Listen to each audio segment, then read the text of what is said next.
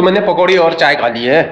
चाय पी ली है और मात्र बिल आया है पचास रुपये दस रुपये की चाय है और चालीस रुपये की पकौड़ी है। तो भैया लीजिए।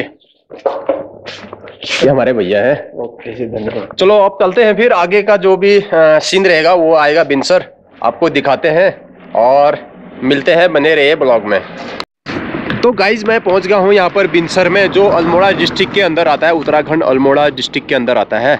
और अ, यहाँ पर से आप बिनसर जाने के लिए ना 11 किलोमीटर आपको जाना पड़ेगा। तो कुछ इस तरह से लोकेशन है, मैं दिखा देता हूँ आपको। लोकेशन कि बिनसर कितना किलोमीटर है और कैसा है और कहाँ से जाना है आपको। तो यहाँ पर ना ये बोर्ड लगा हुआ है, आपको मैं दिखा देता हूँ। यहाँ को तो बागेश्वर को जाएँगे, ये है बिनसर को 11 किलोमीटर को। और कुछ इस तरह से है शुरुआत गेट का नज़ारा। आपको मैं दिखा देता हूँ। और यहाँ का ना कितना मस्त सीन है। तो ये कॉटेज है। रिसेप्शन स्वागतम कक्ष है। और यहाँ पर लिखा हुआ है कि भाई बिनसर बनने बिहार में, जो भी आप पढ़ लीजिए तो इस तरह से है। तो यहाँ से इसकी एंट्री है। तो यहाँ पर ना एक गेट बंद है। अनुमति लेनी पड़ेगी आपको। तो ये कुछ इस तरह से है बिनसर ज़ीरो पॉइंट का। यहाँ पर ना ये बोर्ड लगा हुआ है। और ये मैप है बिनसर वाइल्ड सेंचुरी का। आप देख सकते हैं। और स्क्रीनशॉट ले लीजिए और नेट में भी आपको मिल जाएगा। और यहाँ पर ये पूरा आगे सर, कितना पूरा लिखा हुआ है, आप स्क्रीनशॉट लेके आप दे सकते हैं। और यहाँ पर पूरा टैग लगा हुआ आप देख सकते हैं कितना खूबसूरत लग रहा है। ये देखिए, और यहाँ पर ना एक ज़बरदस्त पेंटिंग बनाई हुई भी है, और ये इंटरेस्ट है यहाँ पर। और ये रिसेप्शन है, थोड़ा सा मैं ऊपर चल के दिखा देता हूँ। आप देख सकते हैं यहाँ पर कितना अच्छा पत्थर लगा हुआ है, और साइड से भी देखिए, कितना मस्त पत्थर लगा हुआ है, सिर्फ़ पत्थर का बना हुआ है ये गेट। और ईटों में कलर लगा के ना कितना खूबसूरत बनाया है और यहाँ पर ही लोगों ने थोड़ा सा बगीचा टाइप का बनाया है और एक गुलाब खिले हैं यहाँ पर। और ये रिसेप्शन है, स्वागतम कक्ष। यहाँ पर आप ना रह सकते हैं रेंट पे। और इसके पीछे ना ये हिरन का और देखिए उद बिलाव इसको बोलते हैं ना उद बिलाव इसका ना चित्र पेंटिंग करके बनाया गया है। ये देखिए, कितना खूबसूरत लग रहा है। कुछ इस तरह से है। ये कॉटेज बने हुए हैं यहाँ। यहाँ आप आके ठहर सकते हैं। छोटे छोटे कॉटेज हैं अलग अलग मतलब आपको जो सा कॉटेज अच्छा लगे, उसमें रह सकते हैं। अलग अलग कॉटेज बने हुए हैं यहाँ पर। बहुत ही खूबसूरत सीन है और सारे कुछ सुविधाएँ हैं यहाँ पर। खाना पीना सब कुछ मिल जाएगा। अभी मेरे को तो रहना है नहीं। मैं सिर्फ़ आपको दिखा रहा हूँ। कभी अगर मेरे को यहाँ विज़िट रहने का मौका मिलेगा तो मैं यहाँ रह के भी बताऊँगा कि किस तरह से है, कैसा है। और एक मिनट, मैं दिखाता हूँ, देखिए पटाल देख सकते हैं आप, कितना खूबसूरत है पटाल। और यहाँ पर ये मैप बना हुआ है, ये नेचुरल मैप है। आप कहाँ से कहाँ को जाएँगे आप? तो ये सारा मैप बना हुआ है तो आप स्क्रीन ले सकते हैं और जूम करके देख सकते हैं आप, कुछ इस तरह से है। और ये देखिए लोकार्पण किया गया है बख्शी सर भगत जी ने। और ये कुछ इस अभी तो शायद कहीं ऊपर गए हुए हैं। तो ऊपर से ना ये सीन है यहाँ का। बिन सर, उधर को जाएँगे। ऊपर को। आपको वहाँ पर एंट्री करानी पड़ेगी, पर्ची काटनी पड़ेगी, तब जाके आपको ऊपर की अनुमति मिलेगी। और तो गाइज़ कैसा लगा आपको? बिनसर का जो इंटरनेस है ना जो जहाँ से आप जाते हैं, वो कैसा लगा? वो बताइए, और नीचे को आपको चीड़ के पेड़ देख रहे होंगे, चारों ओर चीड़ के पेड़ ही पेड़ हैं यहाँ पर। पूरा हरा भरा लग रहा है एकदम, और पक्षियों की ना चिंचिनाहट भी सुन रहे होंगे आप। सुन रहे हैं ना? तो कुछ इस तरह से है। अभी मैं थोड़ा नीचे आ गया हूँ, और यहाँ पर कोई है नहीं, मैं पूछता था यहाँ का कैसा है, क्या है। अभी भैया बैठे थे, वो भी चले गए हैं। तो हाँ ये रजिस्ट्रेशन है। आप देख सकते हैं, मैं आपको दिखा देता हूँ, मेरे को मिल गया है। और भारतीय पर्यटक 150 जो इंडियन है, उनकी जो फ़ीस है ना, वो एक सौ पचास रुपये होगी, और विदेशियों के लिए छः सौ है, और जो विद्यार्थी हैं, उनके सेवेंटी फाइव होगी, और जो विदेशी विद्यार्थी है, उनके लिए थ्री हंड्रेड, और बड़ा वाहन जाएगा तो आठ सौ रुपया, मध्यम वाहन जाएगा तो पाँच सौ और छोटा वाहन जाएगा दो सौ पचास रुपये। यहाँ पर आपको एंट्री करानी पड़ेगी, और उसके बाद ना आपको एंट्री मिलेगी।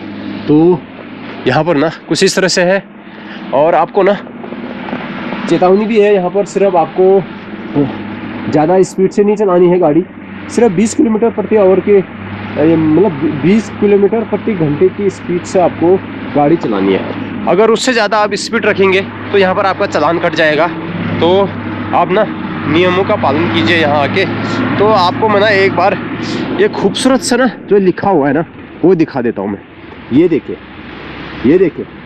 आप देख सकते हैं, बिनसर वन्य जीव बिहार, अल्मोड़ा। एक टैग लगा यहाँ पर। तो कितना खूबसूरत है ना, ये देखिए आप। दिख रहा होगा आपको? ये दिख रहा है। तो कुछ इस तरह से है। आप यहाँ से एंट्री कर सकते हैं। हॉर्न।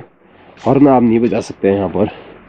और हटर का प्रयोग भी निषेध है। यहाँ पर आपको ना हॉर्न नहीं बजाना है। यहाँ को आप जब जाएँगे ना तो हॉर्न नहीं बजाना है। यहाँ आपको ना सारी चीज़ बाघ भालू और टाइगर वाइगर सब मिलेंगे अंदर जाके। आप देख सकते हैं आप विज़िट कीजिए। ये बहुत ही आ, अच्छा खूबसूरत पैलेस है। पर्यटकों के लिए लुभाने वाला है। तो मैं ऐसा करता हूँ कि आपको ये बहुत ही अच्छा लगा होगा इंट्रेंस इसका। अंदर और भी अच्छा है, यहाँ सुकून भरी ज़िंदगी है। कहते हैं ना, बिनसर में एक जगह ऐसी है ना, दुनिया का ना, ये गुरुत्वाकर्षण वाला केंद्र है यहाँ पर। वहाँ पर जाके ना इंसान सारी चीज़ें भूल जाता है। तो यहाँ पर ये विशेष यही है कि बिनसर आगे जाके ना, यहाँ पर कुछ ऐसा है कि वहाँ पर आदमी बैठ के ना तो किसी ने बताया था मेरे को, आदमी बैठेगा ना, वहाँ पर बिल्कुल सब कुछ भूल जाता है उसको, सब कुछ अपने कर्म या जो भी सब याद आते हैं तो ये हकीकत है या खाली कहावत है, ये मैं वहाँ जाके ही बताऊँगा अगर नेक्स्ट टाइम मेरे को कभी जाने का मौका मिला। तो यहाँ पर ना मैं आपको एक मिनट बोर्ड दिखा देता हूँ कि आपको मतलब कहाँ कहाँ ये है। तो कसार देवी यहाँ से है, नौ किलोमीटर है एन टी बारह किलोमीटर होगा और अल्मोड़ा का जो बस स्टेशन है वो ट्वेंटी थ्री किलोमीटर है राजकीय संग्रहालय ट्वेंटी थ्री है और पेट्रोल सूचना केंद्र अल्मोड़ा ट्वेंटी थ्री किलोमीटर है। तो अगर आपको कोई भी सूचना अपना देनी होगी तो आप दे सकते हैं। तो कुछ इस तरह से है यहाँ पर। चलो, अब तो मेरे को ना यहाँ के एक लोकल मिले जो यहाँ पर एंट्री फ़ीस वगैरह काटते हैं। वो भैया मेरे को मिले हैं। तो वो बताएँगे यहाँ अंदर क्या क्या है बिनसर मतलब क्या क्या देखने का पॉइंट है। तो गाइज़ उनसे सुन लीजिए आप। तो आपका नाम क्या है? मेरा नाम भुवन चंद पंत। इनका नाम भुवन चंद पंत जी है। तो ये बताएँगे अंदर बिनसर में मतलब किस तरह से कैसा और आ, क्या क्या देखने को मिलेगा और कैसा व्यूज़ है और आ, कितना रिस्क है और कितना सेफ़ भी है आदमी यहाँ पर। तो बताएँगे। तो जरा बताइए हम आप हम आपको के अंदर क्या क्या देखने को है? ऊपर हिमालय व्यू दिखाई देता है जी से बोले जी से। हाँ, हाँ।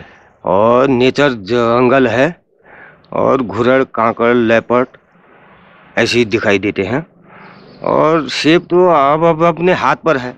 अच्छा अच्छा। जी। तो यहाँ से हिमालय भी देख सकते हैं हम? दे, दे, दे, दे, देख सकते हो। अच्छा अच्छा। तो रिस्क कितना है? मतलब रास्ते में कहीं झपट झपट गया ऐसा ना ना झपट झपट तो नहीं। अच्छा अंदर रहने रहने का खाने पीने का व्यवस्था भी है क्या? ऊपर रिजॉर्टे हैं। रिसोर्ट और होटल वगैरह होटल होटल और देखने का क्या है वहाँ पर मतलब सीन और देखने का ऐसी है नेचर वो है जंगल है। हम्म, हम्म। ऐसी है सब। और यहाँ कहते हैं ना मतलब दुनिया का एक ऐसा केंद्र बिंदु है यहाँ पर आके शांति मिलती है बहुत शांति। तो वहाँ पर कुछ ऐसा है क्या मतलब? बहुत शांति है ऊपर ज़ीरो पॉइंट पर।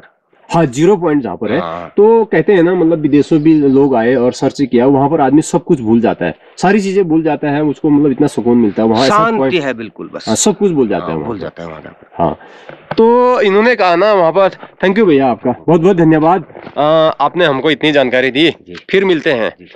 तो गाइज़ इन्होंने बताया कि यहाँ पर है मतलब गए हैं तो थोड़ा कम बोल पा रहे हैं वो क्योंकि ना उन, उनकी प्रैक्टिस है नहीं ना। तो यहाँ पर अंदर है कह रहे हैं कि रिस्क अपना है। रिस्क अपना है वैसा कुछ है नहीं। हिमालय आप दे सकते हैं और यहाँ पर ज़ीरो पॉइंट है। वर्ल्ड का यहाँ पर ना ज़ीरो पॉइंट है। आप यहाँ आके ना सुकून भरी साँसें ले सकते हो और सब कुछ मैंने बताया ना अभी आपको। तो ये हकीकत है बोल यहाँ पर। तो आप आके विज़िट कीजिए और बाकी आपको गेट में ये बता देंगे क्या क्या है। बाकी आपको देख के पता चलेगा, फॉरेस्ट है, जंगल है, पूरा एरिया है, सुकून भरा एरिया है। तो वहाँ लेपट एपट सब कुछ है उन्होंने बता दिया है। तो मिलते हैं अभी आगे एन और अल्मोड़े में बने रहे ब्लॉग में।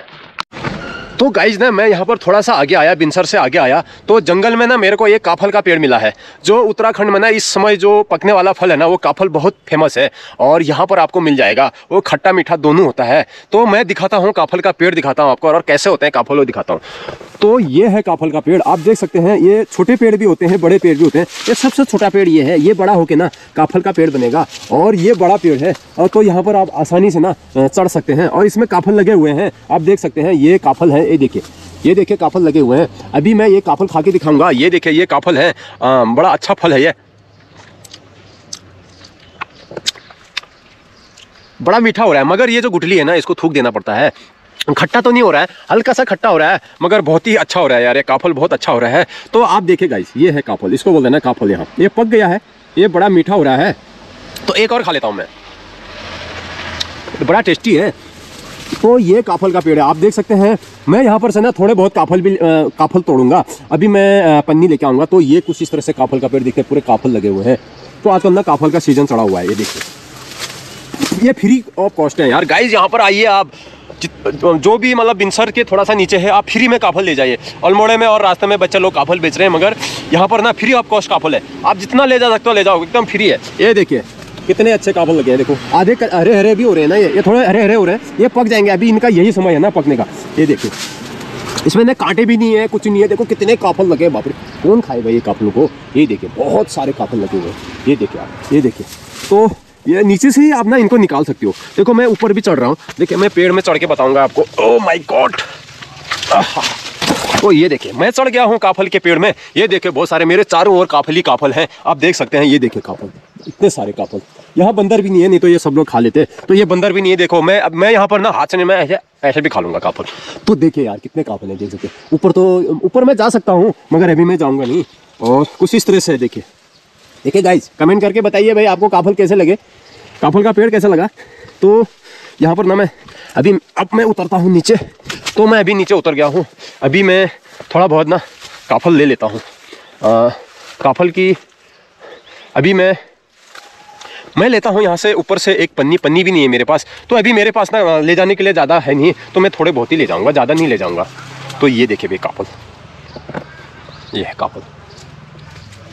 ये काफल। चलो मैं अभी अ,